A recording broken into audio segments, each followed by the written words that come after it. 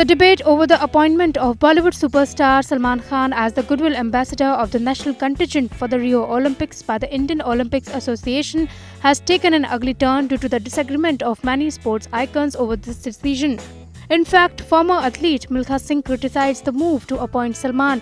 However, the actor's father Salim Khan came into his support and defended by saying, Milkhaji, it is not Bollywood, it's the Indian film industry, and that too the largest in the world.